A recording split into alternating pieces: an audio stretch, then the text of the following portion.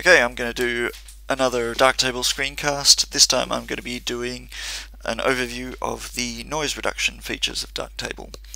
Um, the thing about the Darktable noise reduction features is that there are a lot of different options. They've come in uh, over the development period um, and they often give you a window into the same underlying um, algorithms of Darktable. Darktable has a lot of very uh, powerful algorithms for noise reduction, but the various options in the user interface can be a bit confusing for new users. One thing that I wanted to mention before I uh, go on though is my last video, the raw red of the butterfly, there was a bug affecting the color picker um, when you when we'd crop the image. I just wanted to say that that was fixed before I could even go and do the bug report. Um, obviously, the Darktable developers watch my videos, which is impressive. Here's the uh, Git history, and you can see that uh, Ulrich fixed uh, this bug by midday, the day after I uh, I had uh, done my video. So here's my video on the 3rd of August. And by the next day it was fixed, so thanks Ulrich. Okay, so um, what I'm going to do is I'm going to open up um, a bunch of images that I took about six months ago on my old camera. Uh, and the reason I'm using these images is because they were shot, un shot under such low light conditions.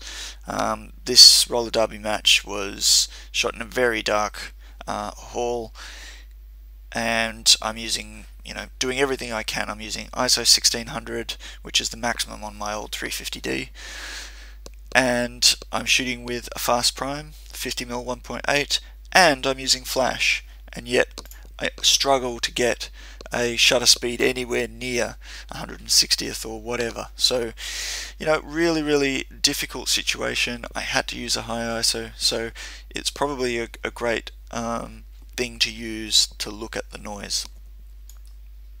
So I've gone through and I've chosen the images that I like the best. Now I was going to use this image. Okay. Now let me just, I've already worked on this one, so let me reset it back to the point where before we've done any anything. Okay, so first things first, we need to enable the various different uh, noise reduction modules. Uh, so we go down here to more modules and let's turn on all the denoise ones. Uh, let's turn on the equalizer and let's turn on raw denoise. Okay, so what I'm going to do is I'm going to work uh, from the beginning to the end. Um, denoise profiled is uh, was designed to be the most usable option. It's kind of meant to be a single click uh, denoiser. You can see the details about the uh, this plugin and the reasons why it was created and how it works by looking at this profiling sensor and photon noise blog post. Um, the URL is here if you're interested. Um, it goes through exactly what the theory is behind the way that it uh, that it takes the, the um, information about the given sensor, it profiles it, and it tries to um, reduce two different types of noise within that image um, to give the highest signal to noise ratio, which basically means the highest amount of detail without the noise, or the highest amount of signal uh, compared to the noise, if you if you see what I'm saying. So if you cancel a noise, the signal relative to the noise is, is larger than if you don't cancel a noise the other place to look, obviously, for information about these things is the correction group um, area of the uh, manual. It goes through how to use each of the each of the uh, modules. I'm just going to give you um, an overview of how I use them. So, uh, if you want more detail, come here, or again, look at the uh, the screencast tutorials that Pascal de Bruijn's done. He's even got one specifically on denoising, um, which again goes into probably more depth than I, I do in each of these modules. One thing to mention though is that he's only working with Darktable 0.9, so I've got a lot more tools at my disposal than he did back at that time. Uh, the other place that I've been looking for information has been the archive of the Darktable users mailing list. Um, if you want to get to the archive of the mailing list, you can you can do that by just going to darktable.org, contact, and the mailing lists are listed here. So you go to the users mailing list and then the archives, and here is the archive of the mailing list. Now, obviously, you can um, uh, you can subscribe to this mailing list and that'll allow you to ask questions um, and so forth by email and you can do that from that same page here where you put in your email address and so forth and subscribe. Now let's go back to my summary. So uh, here is the denoise profiled stuff that I want to talk about. Now that this is uh, a strategy that I found on the mailing list. Um, there's also a strategy that's listed in the uh, manual. I'll probably use the one that's in the manual actually and uh, use the other one, leave the other one for, for you to try out. So let's go and go straight to it. Okay, so here's the denoise profile module. Now, as I said before, it uses the information um, that it knows about the particular sensor and, and camera model that you're using. Uh, so, and it's meant to be uh, the best signal to noise, so the best amount of detail without the noise as possible. So it's kind of supposed to be a single click um, in order to reduce the noise. And you can see already I've seen, you know, done a single click and the noise is really, really significantly reduced. You can see that it's found my camera model and ISO on here on the right. Um, so I'll just leave that as it is in the in the default. So one thing though is that this is not so there are two uh, techniques that this module can use. By default it will use the non-local means which seems to give a, a good overall result but it might um, mean that you lose a bit more detail than you would like. So the suggested method is to use a non-local means instance combined with a lightness blend and a wavelet instance combined with a color. Now you can also see that this is the strategy that um, this person has used but they've gone in and added another step in the middle here with the wavelet on the lightness. Um, so let's it, it's important to mention at this point that the order is significant um, that you work so uh, I found that the best uh, results come from using the wavelet domain first. So we cancel the color noise first. Now you can see that here. Uh, the only thing that's changing in this image is the color. Look at this red spot here. When I turn this on, the red spot disappears. The blue blotches disappear. So the color overall looks a little grayer. Um, so essentially we're working, these red spots here get lessened, but I mean these are really hot pixels. So we're working on the color domain first. And what we're going to do is we're going to do that um, in a more strong fashion than we're going to do the luma noise because the chroma noise is less obvious um, to the human eye than the luma noise is. So we lose, as far as the human eye perceives, if you lose detail in the color, it's less obvious than if you lose detail in the luma. So you need to be a little bit more careful in cancelling that noise in the luma um, or in the, the, the lightness than in the color. So we've got our um, instance here which is cancelling the uh, noise in the color.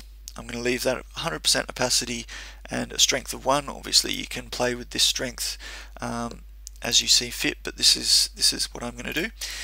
Now I'm going to create a new instance and this one is going to be non-local means and the blend mode is going to be lightness. Again, this is coming from the documentation here. So, non-local means on lightness. Okay, so you can see that we've cancelled quite a bit of noise here. Um, as I was saying before, it might be worth backing off either the strength or the blend um, in the non-local means module to make sure you retain as much uh, detail as you would like to see. So each image is different um, and it's just a matter of working out what sort of noise reduction you want to apply for the particular image. The other thing you want to keep in mind at this point is that we're looking at 200% zoom. Remember I pressed control and I zoomed in to get to 200% zoom.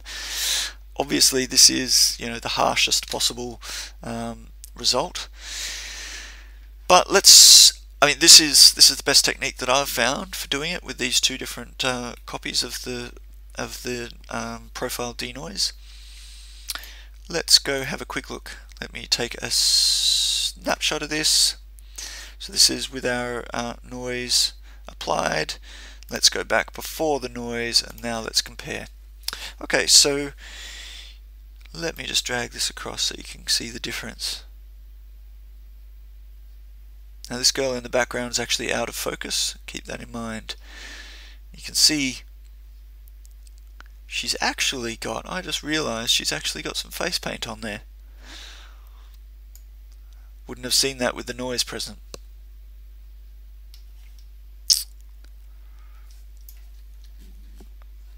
Okay. So let's turn off the snapshot now. Remember that the snapshot works by taking a, a, essentially a screenshot of what you're seeing. So you saw before when I when I click the snapshot button, it zooms me back into the zoom level where I was, and if I zoom now, the snapshot doesn't change. So um, I might just reset that snapshot off and take a new one at 100%.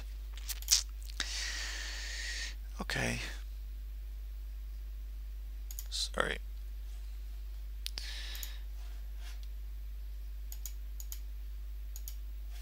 Okay. So now we have the noise on the left and the non-noise on the right. Now the other thing that's probably worth uh, mentioning at this point is that you can also, um, with a lot of other techniques in the pipeline, you can affect uh, the noise profile of the image, the resulting noise profile of the image. So what I might do is turn off these denoise modules and just do a quick uh, overview of what those other things are. So I'm going to talk about sharpen for a second. So by default, if you sharpen your image and it's got a lot of noise in it, you'll actually end up accentuating that noise. Um, let me see if I can make this as obvious as possible. But you can see the effect that this is having on the on the wall in the background here. The noise is becoming more and more obvious as I sharpen the image. Let me just turn this off and turn it back on again. You can see the, the accentuation of those speckles in the noise. Now, one thing that you can do to counteract that is you can use this threshold. What this threshold basically means is what is the lowest amount of contrast that you want to sharpen. If you only sharpen things in the image above a certain contrast threshold, that is, bright pixels next to dark pixels, you won't affect the noise because the brightness values of the noise tend to only fluctuate a little bit from their surrounding pixels. So if you see here now, we're sharpening only the largest blocks of color. So you can see this halo appearing on the edge of the, the helmet and so forth. Um, or, you know, on the edge of her body there is, is sharpening. Now, that's fine if you're zoomed out, you know, you can probably see that it's you know, sharpening these things. Obviously this is way over sharpening. But if we decrease this threshold all the way down, you'll suddenly see all this noise pop out. So one of the techniques that you can use for uh, reducing the apparent appearance of noise is to just use a threshold where the noise is no longer being sharpened. So as I scroll this up, you'll see this noise progressively disappearing, or not disappearing, but progressively becoming less obvious. So as with anything, um, you're going to need to work out which uh, which amount of sharpening you want for your particular image and remember as well that sharpness um, is best done at the final resolution that you're going to use the image. So if you're going to output your images uh, for Facebook or whatever, uh, they're going to be scaled down a lot. You'd lose any sharpening that's really subtle at a very high resolution because when you when you downsample your image, um, the sharpness just gets mushed away and, and disappears. So just bear those things in mind. I might go through again another video about that specifically, but this is this is important to know about when you're doing denoising. Now, the other thing that's uh, important is the demosaic algorithm that you use. Um, demosaic is um, the method that uh, any raw processor needs to use in order to take the raw pixel values that come off the sensor and convert them into red, green, blue pixels. Because of the way that the um, uh, the the Bayer interpolation works, you'll see that um, with a regular um, Bayer pattern sensor that you've got twice as many green pixels as you do red and blue pixels. Um, so uh, so the first thing that has to happen is the um, right at the beginning of the uh, of the process you don't even see it here but before this happens you get a demosaic step. Now there's a few features in the demosaicing which you can use to um, reduce the appearance of, of noise. You can see that there's this match greens section here this is discussed in Pascal de Bruijn's um, screencast, so if you want a little more detail on it, uh, check that out. But what this does is it smooths the greens. It makes them more um, more regular, uh, which, if you think about it, would reduce the appearance of noise because noise is variation that's introduced. Um, even though the values uh, of pixels next to each other are pretty similar, the noise causes those uh, those pixels to be peaky.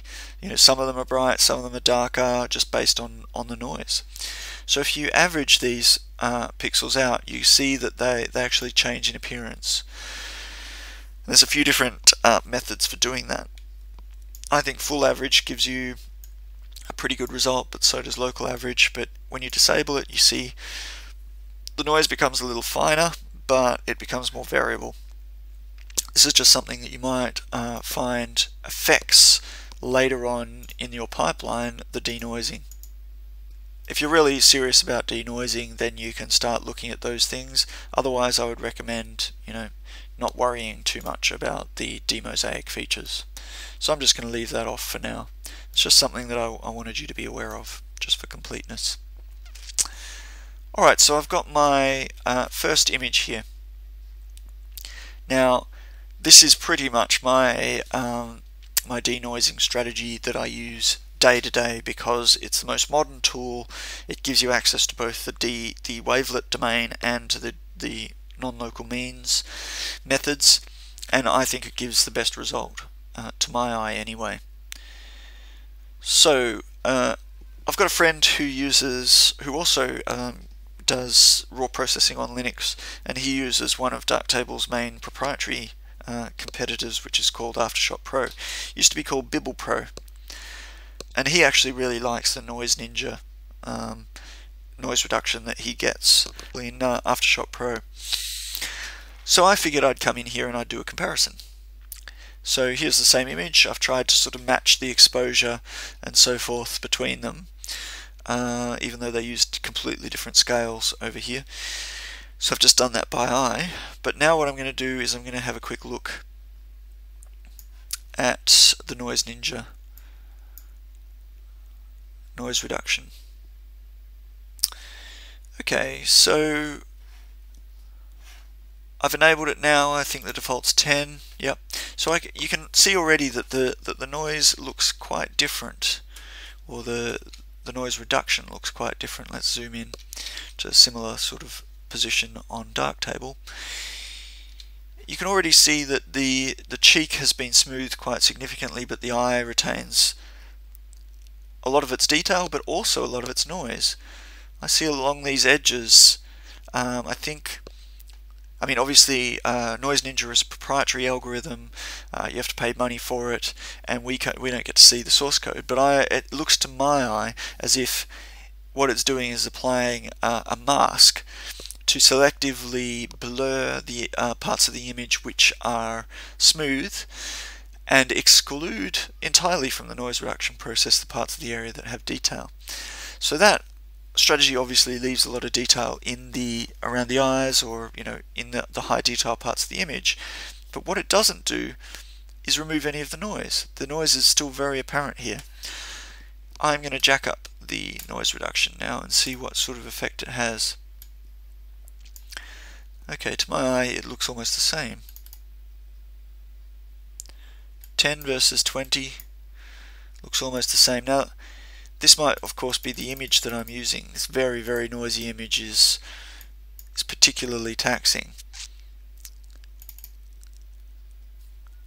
But I'll leave it to you to decide which image you like the best. Obviously the exposure is still slightly different between the two images, but they actually give quite a different result in the noise reduction. Now, if I'm not wrong, Noise Ninja has, yeah, so we've got an extra slider over here. Let's see if we reduce the smoothing, how that does. Okay, so that brings back the noise in the cheeks and so forth. What's the strength?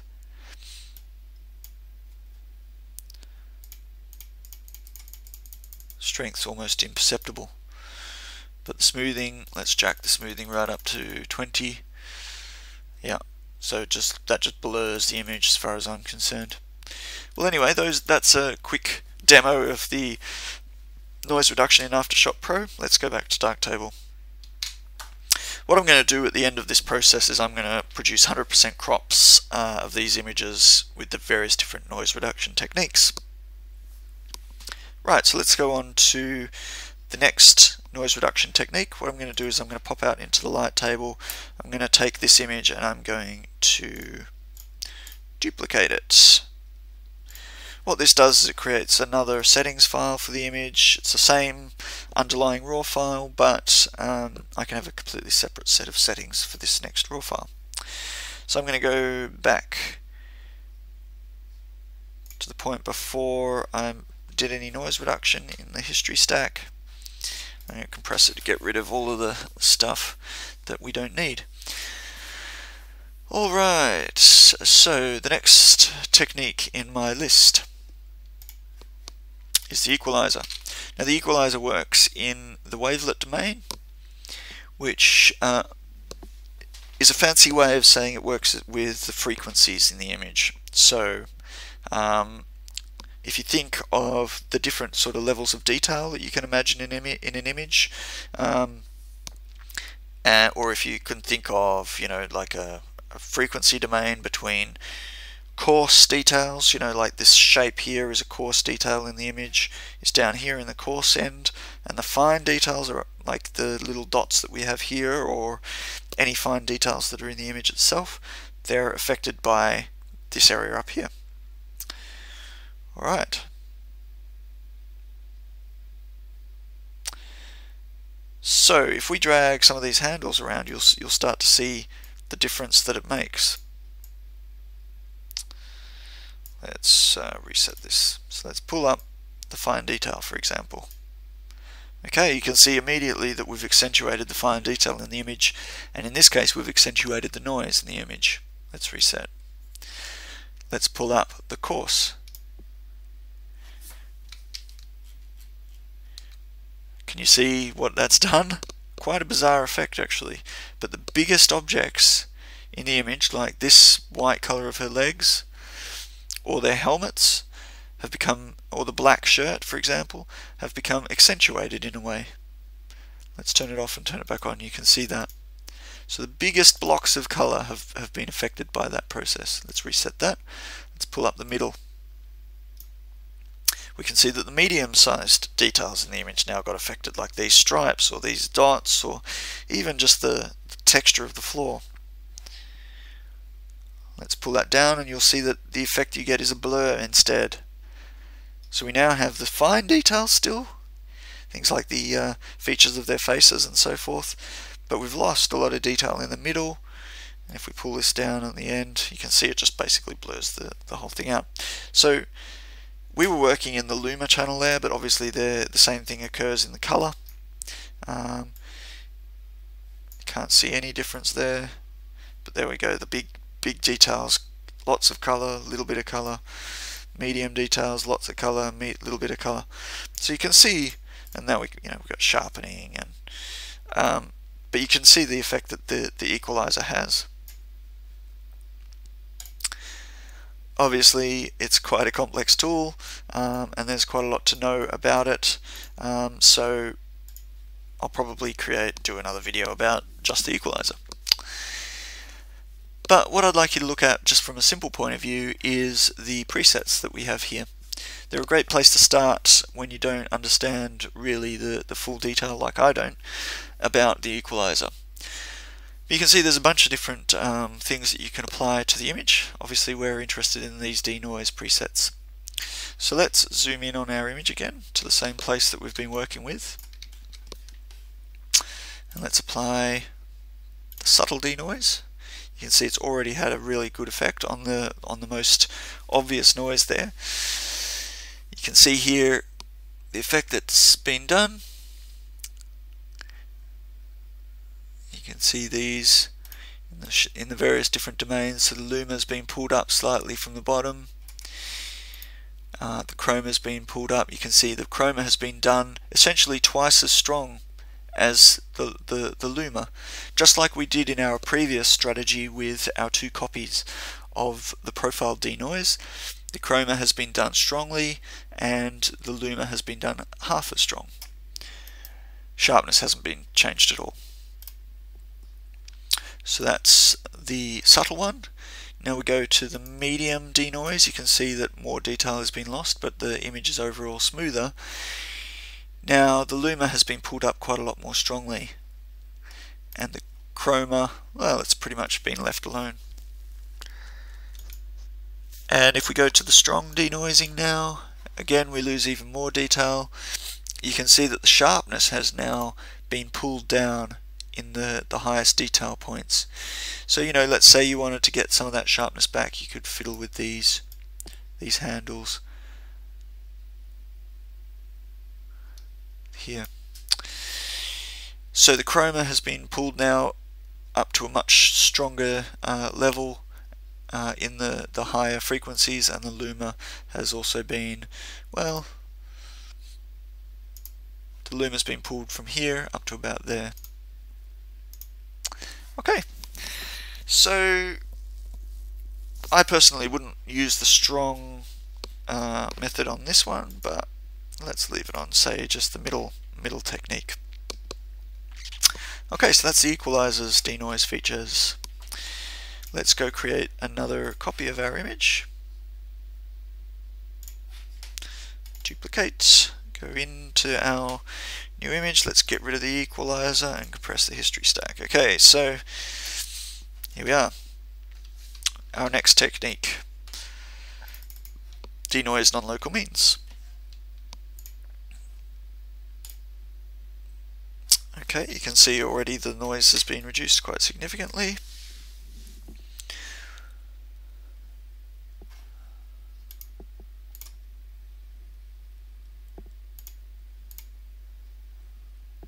There's still quite a bit there. Uh, so let's have a fiddle with the strength. So you can see uh, the Luma is being affected 50% as much as the chroma. This is a, a common theme throughout all of the noise reduction modules. Uh, so that's a good rule of thumb. Uh, now Pascal de Bruijn gave a, a good rule of thumb in his video, which is use the ISO divided by 10 as the starting point for the Luma and do the chroma twice as strong as that. Now obviously I'm using ISO 1600 which means that I can't use 160% on the Luma so uh, why don't I just push this up just a little bit so you can see that's already looking much better. I really quite like that 75% there. Now obviously you can play with the strength as well. Uh, you know that that's made it slightly smoother. I'm starting to lose a lot of detail here. If I pull back, you know, I'm starting to see the noise creep through again. So what I might do is leave the strength at 50% and leave the luma up here at 75. This patch size, the bigger the patch size, it looks like the, more, the less of an effect. So the smaller patch size has more of a blurring effect. I'm just going to leave that at 2. Okay, so that's my second, or sorry, my I think my third image, isn't it now? Uh, so let's go back out to the light table, duplicate our image, and move on to our next technique. We have the bilateral filter.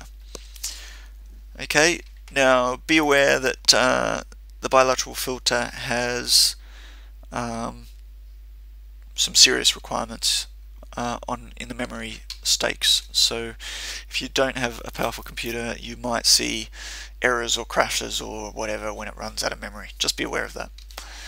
Okay, let's go uh, turn off our non-local means and compress our history stack to remove it from there. Okay, bilateral. Let's turn this thing on. Don't see much of an effect so far. Now remember as I was saying before that the green channel is the most important one for uh, the luma noise. So let's push this up a little and see what happens. Okay, maybe the red, let's see if we can change the red denoising a little and see if that spot disappears. Yeah, it does. And let's pull up the blue. Okay, it's already starting to look smoother. I think I'm going to push the greens up a little more. Yeah.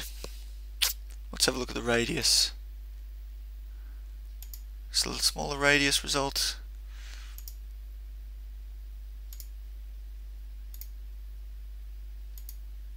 I I can only see a change here.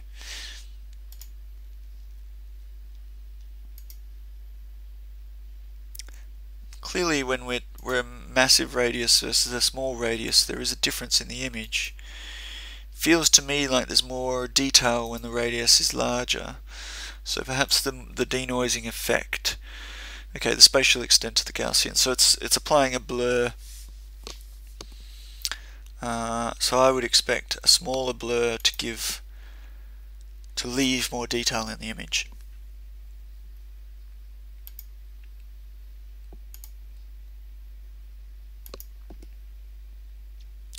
Looks like I've sort of reached the limits of, uh, of what I'm going to get out of this tool. So I might just back it off a little until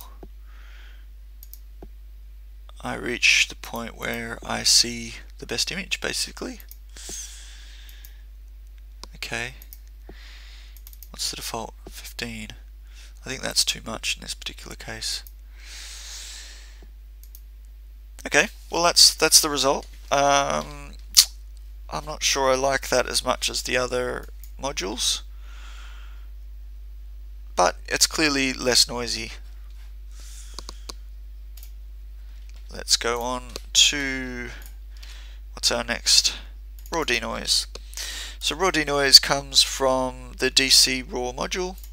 It's quite a simple technique and you'll see it in RawTherapee or um, the various other Linux um, uh, raw processing tools um, that come from dcraw or that depend on dcraw. So let's try this thing. You can see it's quite a simple module. We either have we've we've got a threshold which looks like it applies quite a strong Gaussian blur of some kind. So we really have quite a strong um, dependency of detail loss to the noise reduction. Obviously we could use some kind of uh, blend uh, and reduce the opacity or something like that to get a more subtle effect. Kind of, you know, half cancel the noise if you like.